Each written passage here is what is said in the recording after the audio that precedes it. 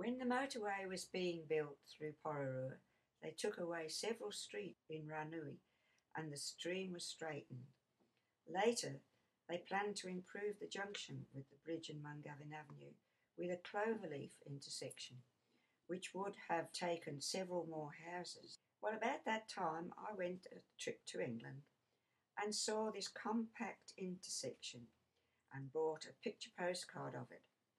When I came back, I sent it to the council. Well, it was uh, eventually built in this style as on the picture postcard, but they didn't invite us to the opening.